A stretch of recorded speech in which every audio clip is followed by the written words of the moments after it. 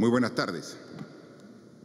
Nuevamente un saludo a toda la población del Perú que nos sigue día a día para estar enterada con la información veraz, oficial, de todo lo que va aconteciendo respecto a esta enfermedad compleja, complicada, que es la que genera el virus COVID-19 y que afecta al Perú como al mundo entero. Eh, para empezar esta conferencia quiero primero lamentar profundamente el fallecimiento de cuatro compatriotas afectados precisamente por el coronavirus. La muerte de las cuatro personas es un hecho trágico. Es un hecho que nos duele no solamente a los familiares, sino nos duele a todos los peruanos y que nos hace ratificar el esfuerzo que debemos desplegar autoridades, instituciones y toda la población para enfrentarlo de la mejor manera. Dijimos desde un inicio que este trabajo que habíamos emprendido desde que tomamos conocimiento el día 6 de marzo del primer caso de infección del COVID-19 en el Perú, que iba a ser una tarea compleja, difícil, pero que estamos dispuestos a llevarla adelante. Primero con determinación, con unidad y con el apoyo de todos los peruanos. Sabemos que esta epidemia eh, avanza rápidamente porque el contagio es muy fácil y depende solamente de nosotros el tratar de evitarlo. En consecuencia, desde el primer día estamos trabajando en ese sentido. Hoy, que ya nos encontramos al día 20 de, de marzo, que han pasado 14 días del primer caso, vemos cómo está yendo la evolución. Y a pesar que vemos estos datos duros, dolorosos, que nos afectan a todos los peruanos, también vemos que la proyección que se viene dando es una proyección que era en función de una curva que estamos poniendo el esfuerzo de controlar y que la podemos lograr en la medida que sigamos trabajando todos en este objetivo. Hoy día, en información que nos ha dado el Instituto Nacional de Salud, reporta que ya hemos evaluado a 4.298 ciudadanos y tenemos que de ellos 263 han dado como resultado positivo, de los cuales 28 están hospitalizados y 5 se encuentran en las unidades de cuidados intensivos. Y como decimos, adicionalmente a ello, con la información que hoy en primer día tenemos que también dar, es la pérdida de la vida de cuatro de las personas que han sido infectadas. Eso nos obliga a continuar con esta estrategia que hemos definido y que al inicio algunos pensaban que era exagerada. Cuando dimos la semana pasada la disposición del aislamiento social responsable y voluntario, dijeron que era exagerado. Y esa disposición fue cumplida por un porcentaje pequeño de la población y fue incumplida mayoritariamente. Eso nos obligó a tomar la siguiente medida, hacer este aislamiento social obligatorio, lo que rige desde el lunes de esta semana. Igual, comenzó a verse un acatamiento de esta disposición mayor, pero no el necesario ni suficiente. Y por eso tuvimos que dar la inmovilización obligatoria desde las 8 de la noche hasta las 5 de la mañana. La norma y esta disposición tiene mejores resultados. Y la información que nos da el ministro del Interior y el ministro de Defensa nos dice que el acatamiento es mucho mayor, pero seguimos sin llegar al resultado esperado. Ayer informamos, por ejemplo, que se habían detenido a personas que habían incumplido irresponsablemente esta disposición del gobierno. Y hoy, por ejemplo, nos dicen que hay más detenidos en este día en una región como La Libertad que la propia región de Lima que tiene la mayor cantidad de población. Por favor, o sea, seamos responsables. Esta medida es para todo el Perú. Recibimos reportes, porque los ministros están yendo a verificar el cumplimiento de la norma, que en algunas ciudades no se está llevando a cabo en, la, en el cumplimiento estricto que requiere la norma. Vemos en otras ciudades que en vez de generar esta situación, la unión de autoridades, vemos que hay disputa y desacuerdo entre las propias autoridades de una ciudad y una región. Y entonces yo les pregunto a estas autoridades, ¿cómo vamos a pedir la unión de todos los ciudadanos si entre las propias autoridades están con discrepancia? Dejemos de lado cualquier diferencia. Este es el momento donde debemos estar unidos todos los peruanos, como estamos unidos aquí en el gobierno, como hemos manifestado la voluntad de trabajar juntos cuando hace dos días me ha visitado el nuevo presidente del Congreso. Tenemos que estar unidos entre los poderes del Estado, los gobiernos regionales, los municipios, coordinar entre sí y que las medidas del gobierno se apliquen en cada región, en cada ciudad. Seguramente algunas ciudades tienen algunas particularidades que necesitan una pequeña adaptación de la norma. Háganlo con el criterio que busque el objetivo de la norma, el aislamiento social. No me cansaré de repetirlo. El virus no se traslada solo. El virus lo trasladan las personas. Si las personas se paran, paramos al virus. Ese es el objetivo de todo el esfuerzo que estamos haciendo. Ayúdenos, autoridades, gremios, colectivos, población. No puede ser que vemos en las noticias que alguna obra de construcción civil estaba tratando de continuar a escondidas. ¿A quién engañan? ¿A la autoridad? Se están engañando ustedes mismos si es que tratan de incumplir la norma. ¿Por qué? ¿Por avanzar un poquito más la obra? Seamos solidarios. Cuídense. Ayúdennos a cuidarlos, cumpliendo las normas. Y hablando de normas, ayer hemos sacado dos. Hemos aprobado dos y hemos sacado una. El decreto de urgencia 028, el cual establece ya los lineamientos para lo que ayer anuncié. Como les he dicho, tenemos más o menos 4.300 pruebas que hemos tomado y habíamos comprado 10.000. En su, en su momento, las 10.000 pruebas parecían suficientes, porque uno tiene que ir evaluando la situación y tomar en función de esa evaluación decisiones. Con los expertos hemos visto que no necesitamos 10.000, ni 20.000, ni 100.000, ni, ni siquiera un millón, que requerimos ahora para tener una muestra clara de la situación en el país, 1.600.000 pruebas. Ayer, con el Ministerio de Economía y Finanzas, se propuso el decreto de urgencia, fue aprobado por el Consejo de Ministros, fue publicado ayer en, edición extraordinaria, ya está vigente la norma, ya se ha procedido a hacer la compra. En los próximos días llegarán. Lo importante de ello es que las pruebas que hacemos actualmente, estas 10.000 que hemos comprado, son pruebas moleculares y solamente se puede hacer con equipos especiales que no existen en todas partes y que toma un tiempo de realizar.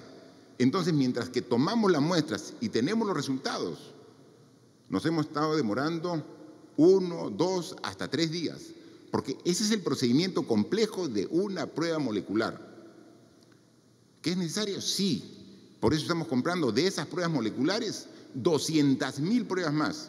De las 10.000 vamos a pasar a 200.000.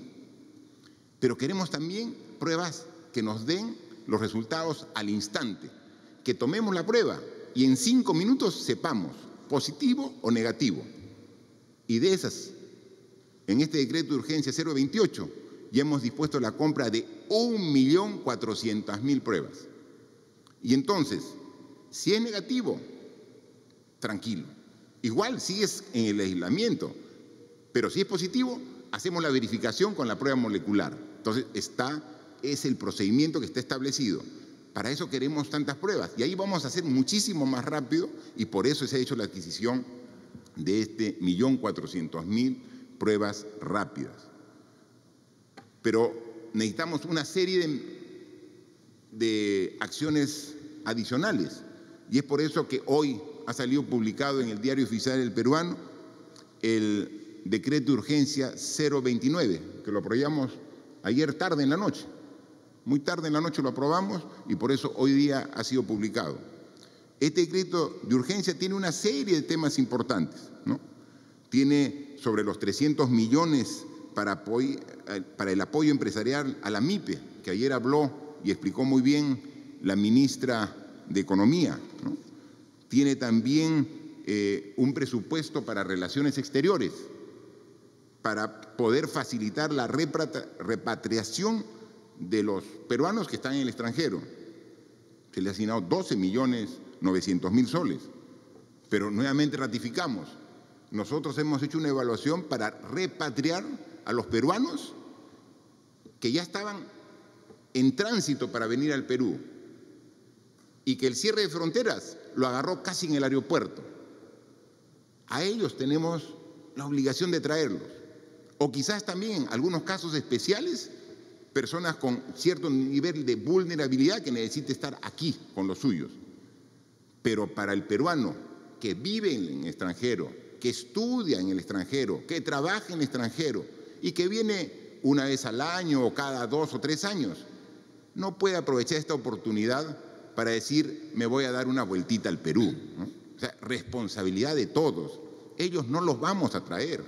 Discúlpenos. Ellos que viven allá porque estudian, porque trabajan, tienen que continuar allá. Y seguramente en su país donde se encuentran, en el país, porque su país es el nuestro, en el país donde se encuentran, tienen que hacer también los mismos cuidados que estamos planteando acá, porque este es un problema mundial.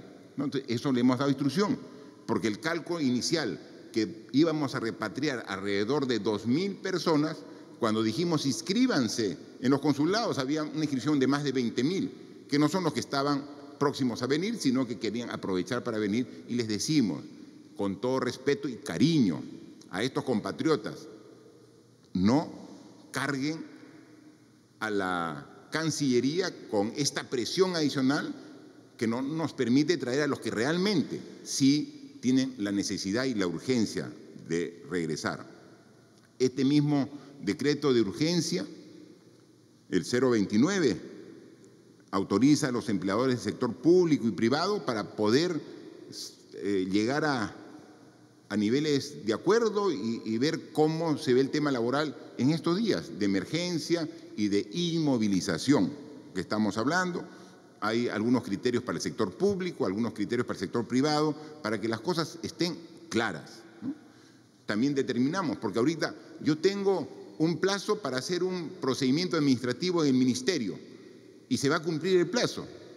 Y si se cumple el plazo, después entro en falta. No, hemos ampliado los plazos para que todo lo que ocurre en estos 30 días no venza, ni que afecte al usuario, ni tampoco afecte al Estado. Entonces se ha hecho una ampliación de 30 días todos los plazos administrativos que estaban en curso para que puedan prorrogarse. Eh, se ha hecho también, ya se está aplicando. Ustedes saben que al 113, que es el número que, hay que llamar para eh, pedir información o pedir asistencia en caso uno tenga los síntomas del coronavirus, es realmente congestionado por llamadas falsas? ¿Pueden creer ustedes que existen ciudadanos irresponsables que en esta situación tan delicada del país dedica su tiempo a llamar para hacer bromas al número de emergencia? Pareciera que ese tipo de personas no hubieran, ¿no? Pero hay. Y estamos tomando acción con ellas. Ya, por ejemplo, el Ministerio de Transportes y Comunicaciones ha comenzado ya a suspender las primeras 78 líneas. Tenemos el mecanismo para identificar el número que llamas. Así que hay un teléfono que hace llamadas falsas y hemos contado una, dos, tres, del mismo teléfono, cuatro, cinco, y sigue llamando. Le decimos, señor, no juegue, esto es una cosa así. Y cinco, diez llamadas falsas del mismo teléfono a la línea de emergencia 113. Diez llamadas falsas. Como no suspender ese tipo de línea y estamos haciendo la suspensión eh, que incluye no solamente la suspensión de voz, sino de datos salientes de ese teléfono, es decir, anulado ese teléfono. Y yo le diría, deberíamos incluso dar a conocer el nombre, el propietario de ese teléfono para ver el nivel de irresponsabilidad que existe en algunas personas. Y hay 78 que estamos haciendo, pero yo estoy seguro que la responsabilidad eh, debe primar y esto debe bajar de manera significativa. ¿no? Hemos visto hoy las portadas de los diarios y hemos visto cómo hay un esfuerzo también de comunicar con yo me quedo en casa y en la medida que todos eh, tratemos de lograr eh, este mismo esfuerzo, de comunicar y generar conciencia, eh, los resultados van a ser mejores. Temprano, hoy en la mañana, estuve con el ministro de Defensa en la Villa Panamericana. Y la Villa Panamericana va ya, eh, hoy día sacamos el decreto eh, de urgencia, hoy estamos sacando la norma para poder intervenir, porque obviamente queremos actuar rápido, pero queremos actuar cumpliendo la ley. Entonces, esos edificios con departamentos se construyeron para un fin, para los deportistas que participaron en los Juegos Panamericanos del año pasado. ¿Y qué decía la norma? Que una vez que se concluya, iba a habilitarse como departamentos y se los iba a vender para poder recuperar parte de la inversión del Estado en estos exitosos Juegos Panamericanos que tuvimos. Pero dada la emergencia, entonces queremos a través de una norma destinar todo ese conjunto, las siete torres de 20 pisos que tenemos en la Villa Panamericana, para ir a hacer todo un hospital para poder atender esta emergencia. ¿Cuál es el hospital más grande que tenemos en el país? El Hospital Rebagliati. Es el más grande, el Hospital Rebagliati. ¿Cuántas camas tiene disponible el Hospital Rebagliati? 1.400 camas.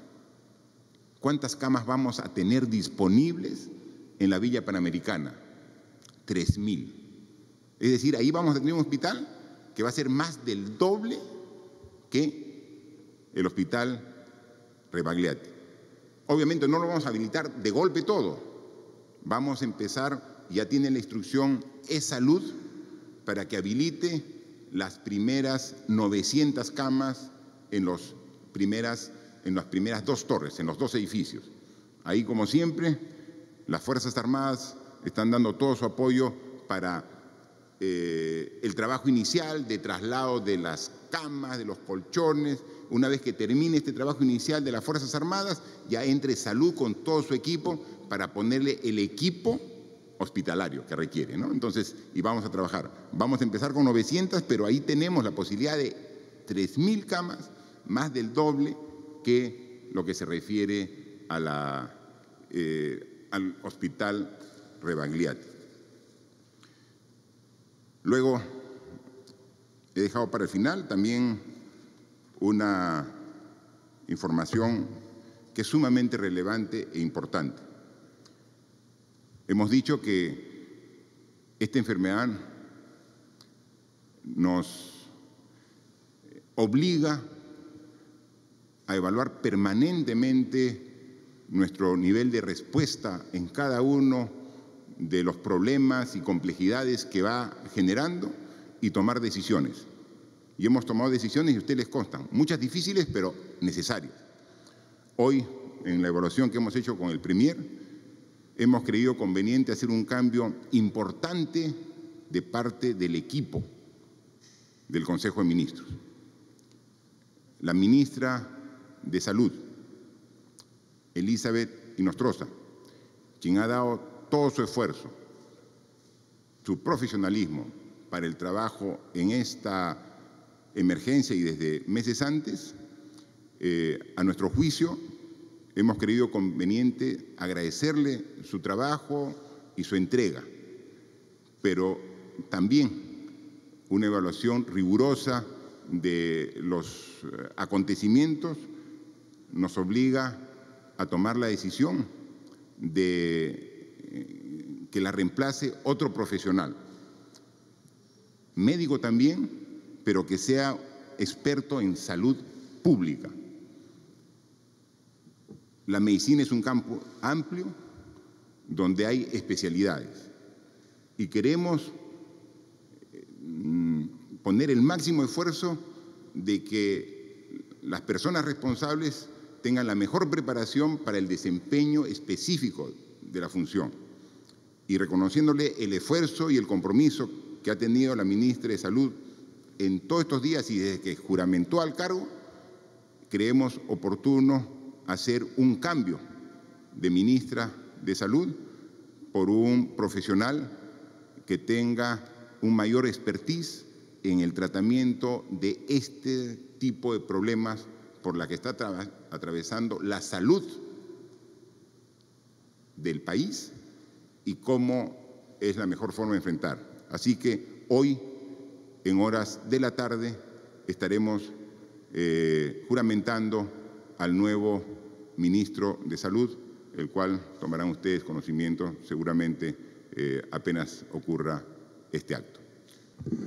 A continuación, se procederá a las preguntas por parte de cuatro medios de comunicación. Iniciamos con Joana Castro, de RPP.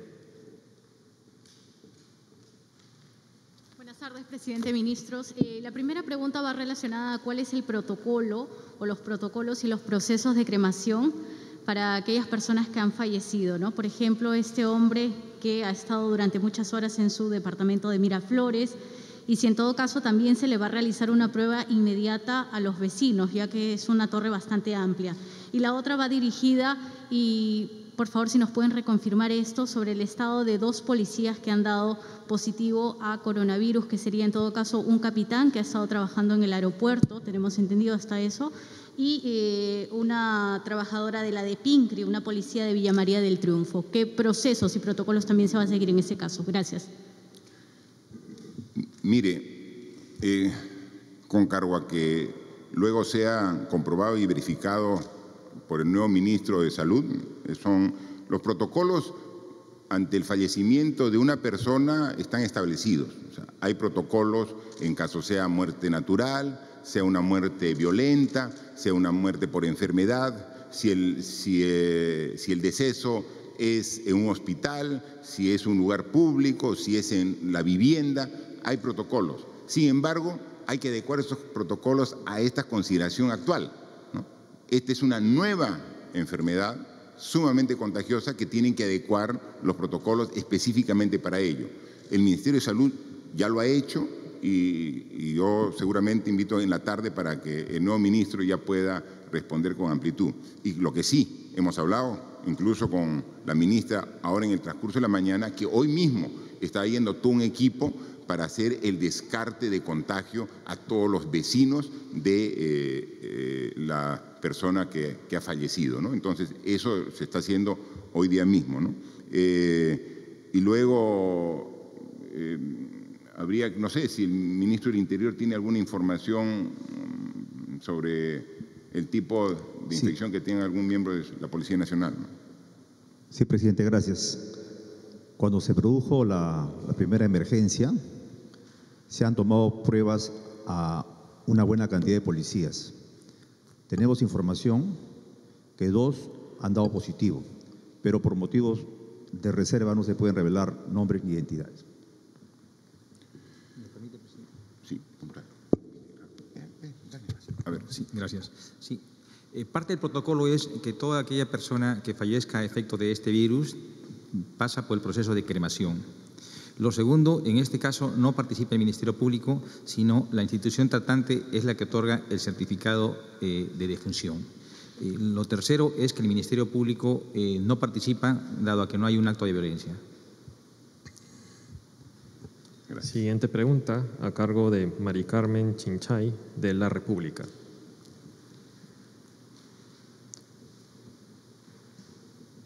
Buenas tardes, presidente. Buenas tardes a todos los ministros. Presidente, eh, sabemos todos que el sector salud es el que está aquí liderando la batalla en la parte médica, en los hospitales, para contener este virus. Y justamente muchos de los reclamos provienen de este sector. Ha habido temprano conferencia de prensa por parte del Colegio Médico que da cuenta de la necesidad de que se redoblen los esfuerzos para poder garantizar la integridad eh, física y la salud del personal médico. Se habla de ocho infectados a nivel de médicos, incluso de 80 eh, también de personal médico que se encuentra aislado por un tema de prevención. Desde las regiones también se habla de que los hospitales eh, necesitan de insumos, de material quirúrgico y de material de seguridad para poder seguir realizando la labor titánica que vienen haciendo. En ese sentido, ¿qué medidas se van a tomar o se van a reforzar? Y eh, eh, también en ese sentido es con cuántos intensivistas estamos contando o cuánto es el déficit de eh, personal intensivista, porque son ellos los que están enfrentando en los, en los hospitales, el, están enfrentando el virus y están atendiendo a los pacientes y también la seguridad para el personal de primera línea, que son las enfermeras y el personal de, de enfermería técnica, ¿no? ¿Qué, ¿Qué medidas se van a tomar al respecto? Y aprovechando la presencia también de la ministra de Economía, trasladarle algunas inquietudes también referentes a su sector, que es que eh, de qué manera eh, su sector va a ayudar a contribuir a que se pueda lograr este recorte del periodo de demora para el cambio de fondos. ¿no? Eh, hoy demora 30 días cuando esto debería darse en el, en el menor plazo posible. Y también hay preguntas relacionadas por parte de la población acerca del tema de los servicios básicos. Por ejemplo, si se van a tomar medidas para poder cubrir durante estos 15 días el tema de los eh, servicios básicos, ¿no? sobre todo para la población más vulnerable. Si el gobierno va a asumir, por ejemplo, el tema de los del el pago de luz, agua, eh, luz, agua o alquileres incluso. Y también desde el Colegio Médico Presidente se habla de la necesidad de que se amplíe la declaratoria de emergencia. ¿Va a ser posible esto? Y con esto cierro. Eh, de ¿Qué medidas se van a tomar? Porque hay un, hay un aspecto que está preocupando, sobre todo a nosotros los que tenemos que difundir la información, y es que hoy temprano un gobernador regional dio información sobre casos a nivel de su jurisdicción.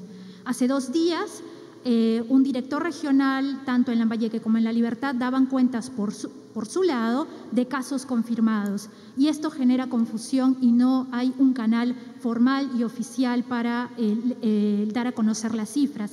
Eso también, ¿qué medida van a tomar eh, al respecto y a modo de recomendación? Porque si no se genera una confusión, más aún cuando ya se están reportando víctimas mortales. Gracias. Esa es una pregunta de ocho en uno.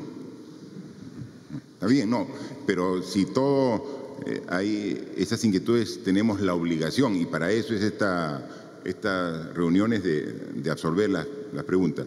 Las interrogantes específicamente en materia económica, por favor, a la ministra de Economía, por favor.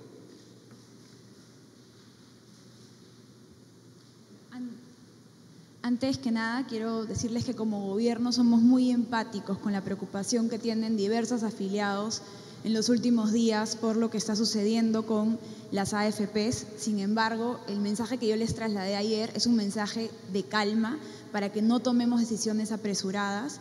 Esto, lo, que está sucediendo con, el desenvolvimiento de los fondos tiene que ver con, un eh, contexto internacional lo que sí les puedo garantizar es que en episodios pasados donde ha habido el mismo desempeño, siempre nos hemos recuperado. Son fondos, inversiones de largo plazo. La calma que yo les pido es para que no tomemos decisiones apresuradas y justamente de eso se trata. Cuando hay estos cambios de fondos, se, llevan a cabo una serie de procedimientos para asegurarnos que los afiliados están tomando las mejores decisiones. Por eso reitero mi mensaje de calma. Ha sucedido este tipo de episodios antes y también cuando sucedió esos episodios hemos observado que en todos los casos ha habido una recuperación.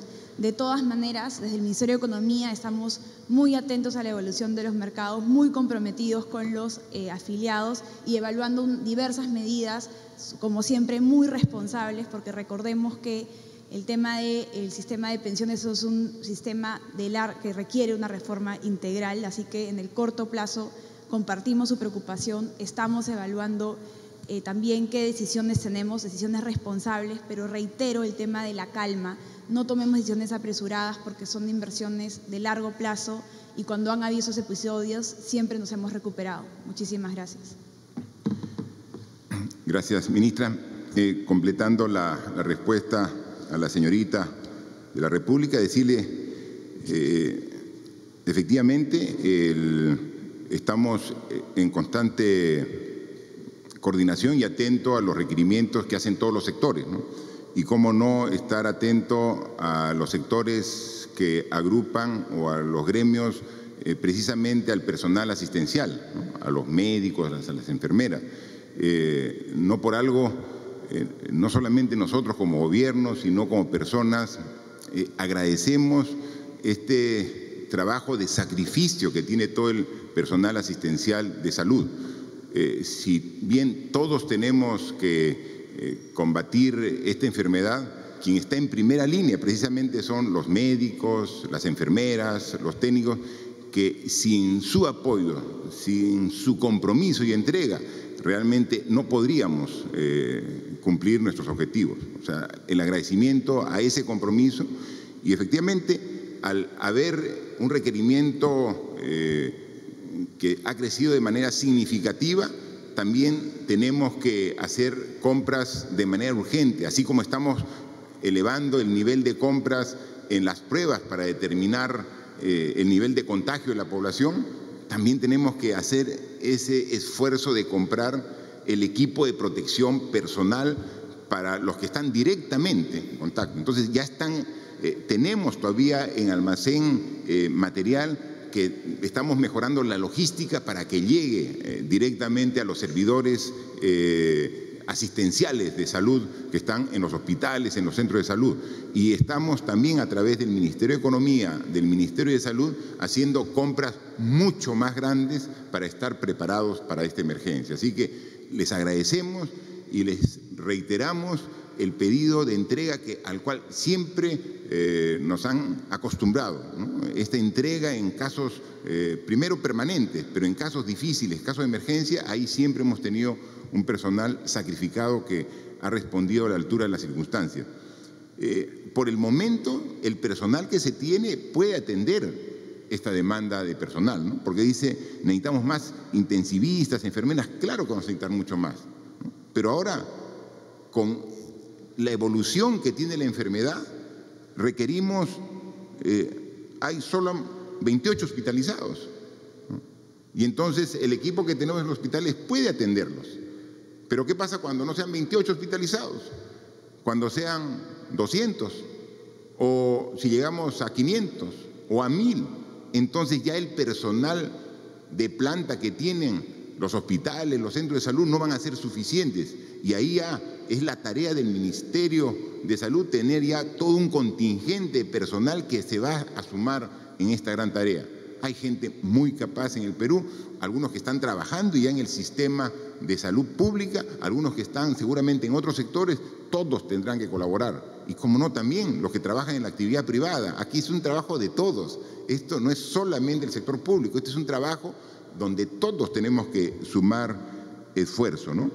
Eh, sobre el tema de servicios básicos que, hablaba, es un tema que lo estamos viendo y que en las normas subsiguientes vamos a dar y vamos a dar información. Ya hemos conversado con la empresa que da la energía eléctrica, con la empresa de agua, Sedapal, ya hemos visto los mecanismos para que eh, podamos enfrentar esta enfermedad y no tener una creencia económica urgente que, poder atender. ¿no? Así que estamos viendo la situación de las personas de manera individual, también de la pequeña y microempresa que se va a ver, ver afectado y necesitan un soporte que estamos pensando.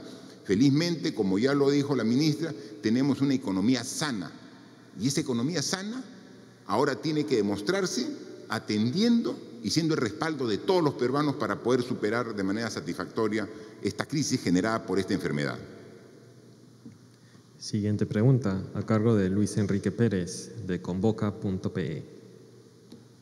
Muy buenas tardes, señoras y señores ministros, presidente. Eh, Gracias por la disponibilidad de responder estas preguntas amplias que tenemos. Y la primera es eh, respecto al tema de los campamentos mineros. Queríamos saber quién se está encargando de la fiscalización de los, para que los campamentos mineros cumplan con las medidas sanitarias y también si se puede desmentir algunas eh, cuestiones que han estado surgiendo sobre que hubo una presión de Confiet para que se efectúe a, los, a las operaciones mineras del decreto de emergencia. También eh, para el canciller, eh, respecto a cómo se viene gestionando las, la repatriación de los peruanos. Entendemos que hay unos 200 peruanos en Colombia, están muy cerca y no pueden aún cruzar la frontera, que porque una, la aerolínea ha señalado que, no puede hacerlo. Y eh, también respecto a la, pregunta anterior que hizo una colega, eh, nos han llegado unas, unas, quejas de residentes del Hospital Loaiza que han señalado que no le están dando, están dando las, eh, los elementos de seguridad, mascarillas, ¿no? Eh, guantes, estos, estos elementos que son necesarios para, para ellos, que son médicos ya egresados y que están haciendo su especialidad en el Loaiza. Y algo más eh, esta semana Convoca publicó que eh, los, comedores del MINSA de aquí, del centro de Lima, de Girón Cusco y también de Plaza Manco que en la Victoria habían cerrado y que habían dejado a 1.200 adultos mayores, indigentes, sin acceso, ¿no? ellos comen por solo 50. Y hemos visto acá nomás en Guayaco, en Azángaro, a 200 indigentes y personas adultas mayores haciendo una cola enorme para ir a una eh, a una ONG que se llama Remar para ver si les pueden dar eh, almuerzo, ¿no? Y ellos, ellos eran comensales ¿no? de los comedores del MINSA que por uso 50 desayunaban o almorzaban. ¿Qué se ha previsto para esto? Porque son población vulnerable también. Muchas gracias. Bien, a ver, por favor al, al ministro de Relaciones Exteriores para que nos dé un poquito más de detalle respecto al tema de los peruanos en el exterior, específicamente de Colombia, creo que hicieron mención, ¿no? Obviamente, las fronteras peruanas están cerradas, hemos tomado esa medida y lo mismo ha ocurrido eh, por parte de los países vecinos, así que en los últimos días eh, hemos dado ese mensaje, la idea es que se respete ese cierre de las fronteras y hemos estado en contacto con las autoridades de todos los países vecinos para resolver casos excepcionales que se han presentado cuando por alguna emergencia había alguna persona que había estado, había cruzado la frontera, como dice el presidente, no para que vengan los residentes en el otro país, sino personas que estaban por el día en el otro lado de la frontera. Entonces, excepcionalmente se ha dejado pasar, pero desalentamos muchísimo que vayan a cruzar la frontera porque no van a poder. Las fronteras están cerradas y es por la razón de la emergencia sanitaria. Gracias.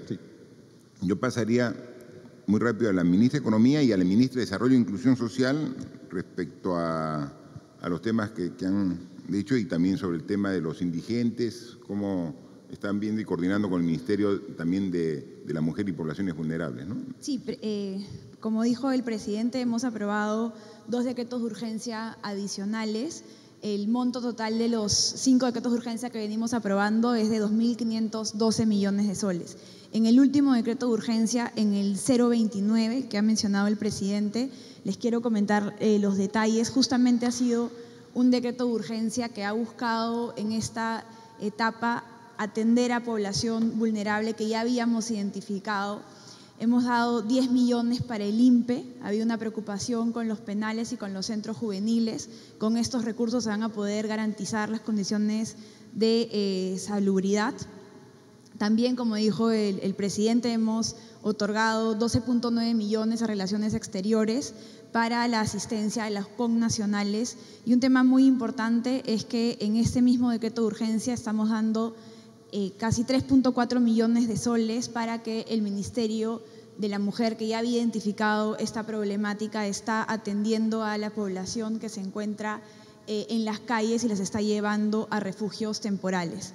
También para, complementar, eh, es un decreto de urgencia que va a salir en el transcurso del día vamos a habilitar recursos, aproximadamente 28 millones de soles, para que Salud pueda eh, llevar a cabo la adaptación de estas dos torres de los Panamericanos para tener eh, en esta primera etapa 900 camas para, internar a, las personas que tengan coronavirus. Por favor, ahí está la ministra de Desarrollo e Inclusión Social. Eh, señor presidente, sí. Eh, sobre el tema de apoyo a toda la población vulnerable, como ustedes saben, ya estamos preparando el pago de los 380 soles, que va a ser destinado a 3 millones de hogares, eh, pobres y pobres extremos. Sobre el tema de los comedores, del MINSA, coordinaré esta tarde con el ministro de entrante para ver, poder ver qué, está pasando. Ayer Hemos tenido ya una reunión con Naciones Unidas, todas Naciones Unidas en el MIDIS, para ver cómo podemos coordinar eh, para esta población tan vulnerable de calle. Pero como dijo la ministra de Economía, ya se han dado 3.4 millones justamente para que el Ministerio de Poblaciones Vulnerables pueda ayudarlos en albergues y en alimentación. Asimismo, estamos eh, viendo el pago de de todos los eh, subsidios que da el MIDIS a través del Banco de la Nación, el tema de juntos, que son 700 mil familias, y el tema de pensión 65 y contigo, ¿no? que pronto vamos a dar más información sobre esto. Al respecto, eh, hay una serie de familias vulnerables que son atendidas regularmente por el Ministerio de Desarrollo e Inclusión Social. Ahora, extraordinariamente, vamos a hacer esta subvención económica de 380 soles a más de 3 millones de familias. Son familias urbanas en situación de vulnerabilidad. Son 3 millones. Pero eso no reemplaza al trabajo y a la subvención que normalmente hace el MIDIS. MIDIS tiene que atender pensión 65. Hay viejitos que están en padrones, que están debidamente identificados y que reciben una subvención. O sea, ellos tienen que seguir eh, recibiendo su subvención. Hay personas con discapacidad severa que también tienen una subvención del Estado, también tienen. Y ahora en esas circunstancias con mayor razón aún. En consecuencia, no es que solamente el MIDIS ve la subvención de los 3 millones de familias, sino es eso adicionalmente a lo que todos los meses tiene que verlo. Y entonces hay que articular porque acá el esfuerzo es lograrlo, pero de manera descentralizada, de manera desconcentrada, para no tener gente junta generando la posibilidad de contagio. Porque también podría decirse más fácil, para que no se contagien, eh, le postergamos para acá dos meses. ¿Y cómo viven esos dos meses? Entonces tenemos que poner, o sea, hay veces uno escucha recomendaciones simples. No, no, no se pueden juntar, así que mejor que no les paguen. A las personas con discapacidad severa a los adultos mayores que si no reciben su pensión 65 no tienen para lo mínimo indispensable. Entonces tenemos que buscar equilibrio entre lograr el aislamiento social para que no se traslade el virus, pero permitir que llegue ese dinero a personas que sin ese van a tener problemas muy serios y tenemos que atenderlos. Y ese es el gran reto que tiene la ministra Ariela y para eso está trabajando. Hay un tema sumamente importante que es algo que conversan en todas las casas sobre, ¿y los niños de, que están en edad escolar y que están en sus casas? Eh, ¿Cómo pueden aprovechar el tiempo? O sea, sí, hay, un tiempo para convertir en familia, hay un tiempo para el juego, un tiempo para eh, la interacción familiar, que es muy bueno y positivo, pero también requerimos que haya una posibilidad de que puedan seguir aprendiendo en casa en estos instantes y por eso el ministro de Educación nos va a explicar lo que ya estamos planteando al respecto. Por favor. Sí, presidente, muchas gracias. El día de hoy estamos anunciando el lanzamiento de la estrategia de educación a distancia Aprendo en Casa. Esta es una estrategia que va a combinar eh, medios digitales, televisión y radio para tener una mayor cobertura. Es una estrategia que va a ser también inclusiva, va a tener eh, parte de la información en al menos 10 lenguas originarias y con lenguaje de señas y tiene como finalidad el tratar de aprovechar esta coyuntura ciertamente difícil para todos como una oportunidad de poder repensar la forma como nos hemos venido educando y cómo educamos.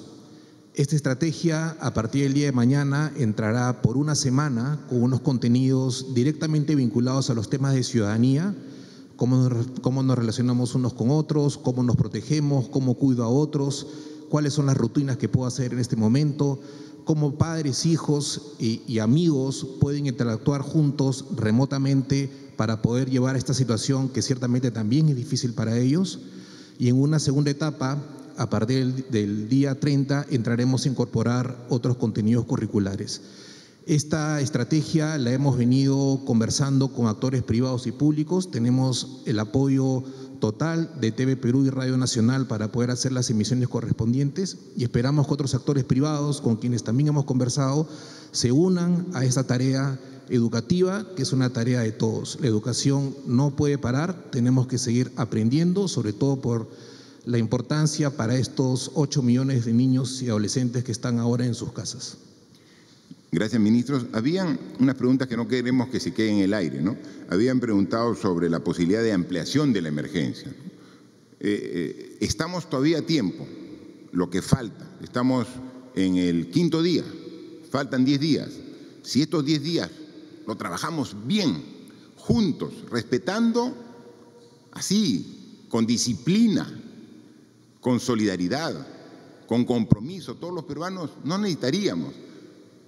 Eso depende solamente de nosotros. Nosotros como autoridades vamos a hacer todo el esfuerzo de cumplir los objetivos que nos hemos planteado, pero solamente lo vamos a lograr si tenemos el respaldo de la población, la unidad, el compromiso, la fuerza, la responsabilidad. Así que estamos trabajando para que sea 15 días. De ahí adelante seguramente será un proceso gradual de retorno a la normalidad. Pero si nos abocamos 10 días que faltan con lo que ya hemos avanzado, que yo les agradezco, ya en estos cinco días la gran mayoría de peruanos han hecho un gran esfuerzo y están cumpliendo estrictamente lo que hemos dispuesto como gobierno. Pero todavía hay un porcentaje de la población que no lo está haciendo. Si también se alinean, si todos juntos realizamos el mismo esfuerzo, en estos 10 días sería suficiente, pero es la evaluación lo que le determinará. Sobre la información, para eso tenemos un sector, pues, y el sector tiene un Instituto Nacional de Salud. Seguramente vamos a ampliar las, las, las formas y las fuentes de toma de pruebas, porque necesitamos tomar más muestras, pero finalmente todo tiene que canalizarse al final para una sola información al día. Por eso es que lo hacemos. Todos los días en la mañana damos la información de cuáles son los casos confirmados y hoy día lo estamos haciendo. Vamos a ampliar la posibilidad de toma de pruebas, vamos a hacerlo porque estamos adquiriendo muchas más que a partir de la próxima semana van a permitir, y no decir, hoy día tomamos 300 pruebas, hoy día tomamos 500 pruebas. Nosotros queremos decir, hoy día hemos tomado 5.000 pruebas. Seguramente vamos a aumentar la cantidad de infectados porque ya son 5.000 pruebas pero es mucho más eh, fidedigna los datos porque ya estamos hablando de una muestra más grande. Entonces, para que sean 5.000 tenemos que delegar responsabilidades en diferentes instituciones, pero finalmente los datos tienen que dar a una misma institución para que haya un, solo medio donde se pueda dar la información que sea la real. Y lo último sobre el tema minero, para empezar. Alguien dijo de que había una presión de los empresarios de la CONFIED. Miren, no hay presión y si hubiera, no la aceptaríamos. Aquí estamos hablando en función país, estamos hablando en función de toda la sociedad. ¿Ustedes creen que nosotros vamos a aceptar presión de algún grupo que tenga algún interés particular? de ninguna manera. Aquí el objetivo es el país. Aquí el objetivo son todos los ciudadanos.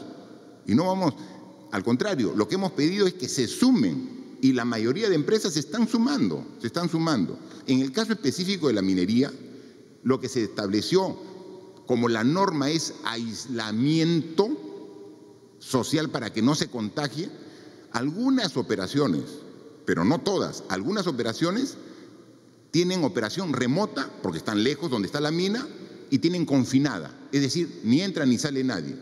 Esa operación puede continuar, porque no va a salir y entrar. Es una operación remota y confinada. Pero también, de igual forma, el concepto de eso sí es aislamiento social, están solos y ahí están. Pero también hay, conocemos de algunas otras operaciones que han estado entrando y saliendo y trasladando, transgrediendo la norma. Eso está prohibido. Y si está prohibido para el chiquito, está para el mediano y está para el grandote. Todos tenemos que cumplir y vamos a ser estrictos en cumplir. Si es remota y confinada, no hay problema porque no hay esta interacción, está dado el aislamiento. Algunos casos se ha dado eh, algunas eh, eh, excepciones porque, por ejemplo, se tiene por, en, en la selva la operación de alguna actividad puntual eh, en, hidrocarburos, que si no se opera, simplemente se puede generar un daño en todo el sistema de abastecimiento incluso de esos hidrocarburos. Entonces tiene que ser lo mínimo indispensable, o sea, lo mínimo indispensable para que pueda. O una operación minera para la operación minera, pero tiene una presa relaves. Si no está el operador que mantenga el sistema, eso puede generar el colapso del embalse de relaves y puede generar todo un problema ambiental. Entonces, esa operación específica, entonces a ese nivel de detalle estamos nosotros trabajando. Pero como digo, aquí el compromiso es de todos. Y aquí el objetivo es el bien y la salud de todos los ciudadanos. Y eso es lo que prima para todas y cada una de nuestras decisiones. La última pregunta está a cargo de Tanu Simons, de TV Perú. Presidente, ministro, buenas tardes. Eh, en primer lugar, presidente, eh, quisiéramos saber cuáles van a ser los criterios para distribuir y aplicar eh, las pruebas que se, van a, que se van a adquirir ya en los próximos días para el descarte del virus. Y para el ministro de Educación, si es que esta plataforma va a permitir que al utilizarla los estudiantes puedan recuperar, los alumnos puedan recuperar y parte de las horas que ya han perdido ahora, si es que va, a contabilizar como, como eso. Gracias. Eh, por favor, al ministro, a ver cómo, si puede. Sí, los colegios privados están ya en un esquema de recuperación porque ellos habían iniciado las clases. En el caso de los colegios públicos, lo que se ha hecho es postergar las clases, todavía no han empezado, empiezan el 30, pero lo que estamos haciendo para ellos, en realidad para todos, es generando unos contenidos que les van a ayudar para estar mejor preparados cuando se dé el inicio del año escolar eh, en el momento que corresponda. ¿no? Bien, y sobre las pruebas, manifestar que eh, va a ser una estrategia completamente diferente. Ahora en, estamos 30, estamos 20 desde el 6, son 14 días, desde que ha pasado que hemos estado tomando muestras. Y en 14 días hemos hecho 4.298 muestras. Ahora nosotros quisiéramos que se hagan las 4.298 pruebas en un día sea, por día. a ese nivel tenemos que llegar. Lo que hemos hecho en dos semanas, ahora tenemos que hacerlo por día. Más o menos lo que se ha visto es la programación. Ellos, estas pruebas ya están en proceso, ya la adquisición está hecha, está en proceso de traslado al Perú. No, no hay pruebas aquí, o sea, eso tiene que trasladarse tan lejos como desde Estados Unidos, donde se producen esas pruebas, o tan lejos como desde Corea o China pero estamos viendo los mecanismos para que a través de vuelos eh, directos puedan llegar en el transcurso de dos, tres días ya tener las pruebas acá. Entonces, miren la organización que teníamos para hacer eh, 5.000 pruebas en dos semanas y ahora tenemos que hacer 5.000 pruebas al día. Entonces, todo eso ya hay una planificación y un orden, una estrategia diferente que la vamos a implementar y entonces eh, eso obviamente ya lo hará a través del Ministerio de Salud, eh, dar a conocer a través de la descentralización en las regiones, como también dentro de Lima, cómo se delega para la toma de pruebas de manera mucho más intensa. Yo quisiera eh, terminar, primero que nada agradeciendo como siempre la atención y manifestarles una vez más el esfuerzo y el compromiso de todos. Agradecer a los que están en primera línea eh, atendiendo eh, esta enfermedad, a los médicos, a las enfermeras, eh, al personal de salud en su conjunto.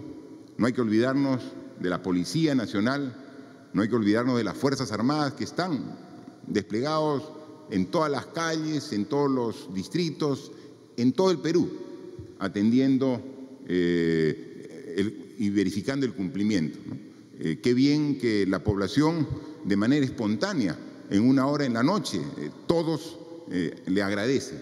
Y yo, aquí en mi condición de presidente del Perú, a nombre de todos los peruanos, quiero agradecer a ellos. sin su apoyo desinteresado, realmente no podríamos llevar adelante medidas tan difíciles y complejas como las que estamos haciendo. Eh, decirle que hay dos enemigos que tenemos también además del COVID-19. O sea, queremos enfrentar y vamos a derrotar a este virus entre todos. Pero para eso debemos también superar a dos enemigos que tenemos. Uno es el pánico. Todos tenemos un temor natural. Es lógico, es natural, es parte de nuestra forma de ser como seres humanos, de ante algo nuevo, tener temor. Pero de ahí tener pánico, donde nos descontrolemos y generemos una ansiedad y generemos reacciones inadecuadas, eso es lo que tenemos que evitar. Como ustedes pueden apreciar, como gobierno estamos tomando todas las medidas. Estamos designando el presupuesto que sea necesario. Son más de 2.500 millones de soles que hemos destinado para enfrentar esta enfermedad. Y lo estamos haciendo con la convicción que con ello lo vamos a hacer y estamos tomando decisiones en el momento. Y también evaluando nuestros propios procesos y viendo que también tenemos algunas deficiencias. Y cuando la encontramos, la corregimos. Y lo estamos haciendo porque queremos tener el mejor resultado. Entonces, temor es comprensible, pánico no, porque tienen un gobierno y tienen una población, un país que está decidido a enfrentar y vamos a superarlo. Y el otro gran enemigo en fenómenos y enfermedades tan complejas como la que tenemos ahora es la desinformación. Vemos en redes cantidad de información falsa.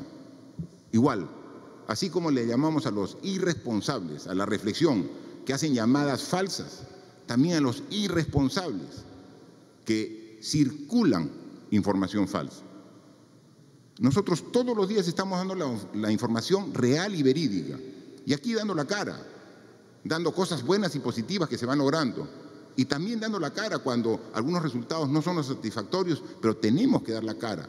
O sea, esa es nuestra responsabilidad y estaremos siempre aquí al frente de todos ustedes. Pero por favor, ayúdenos desde, desde sus casas para no estar retransmitiendo información que ustedes no hayan verificado. Verifiquen, verifiquen. Es importante la información, pero la información correcta la información mala, la información que no es veraz, la falsa información, es lo que genera el anterior tema, el pánico. ¿no? Entonces, ¿este es un tema difícil? Sí. ¿Lo vamos a superar? Lo vamos a superar. Así que confianza, seguridad que eh, tenemos eh, la convicción y las, y las decisiones necesarias para llevar esto adelante. ¿Y cómo lo vamos a hacer? Con ustedes. ¿Qué cosa es lo que más quiere uno? en la vida. Seguramente ustedes, al igual que yo, a tus hijos, a tus padres, a tu familia. O sea, no hay nada más importante para uno que la familia. Y es a lo que proteges. Pero ahora para proteger a la familia tenemos que ascender a otro nivel de familia. Es el Perú, todos los peruanos. Ahora, la familia que tenemos que cuidar es a los peruanos. Así como antes era suficiente cuidar nuestro núcleo más cercano, ese núcleo pequeño que mis padres, mi esposo, mis hijos, ese es el núcleo pequeño y con eso era suficiente, ahora no es suficiente. O sea, si yo quiero cuidarlos a ellos, como familia tengo que pensar en la, en la familia grande, es la familia de todos los peruanos. Tenemos que considerar que todos somos familia. Si logramos pensar en esa dimensión, vamos a tomar las decisiones adecuadas, idóneas, convenientes para cuidarnos todos. Porque esta enfermedad lo que nos está demostrando que el egoísmo, que el individualismo no nos lleva a nada. Que necesitamos acá ser solidarios. En la medida que seamos solidarios y pensemos en los nuestros, que es lo que más queremos, pero que pensemos en los demás, porque cuidándolos a ellos, nos estamos cuidando nosotros mismos, vamos a tener éxito. Con esa convicción, sigamos adelante. Ya viene el sábado, viene domingo, no hay fiestas, no hay reuniones, no hay, por favor, o sea, no es que ya estuve de lunes a viernes y ahora sábado y domingo, no, continuar, reforzar nuestro compromiso y nuestro amor al país, demostrando con nuestro comportamiento. Muchas gracias. Gobierno del Perú, el Perú primero.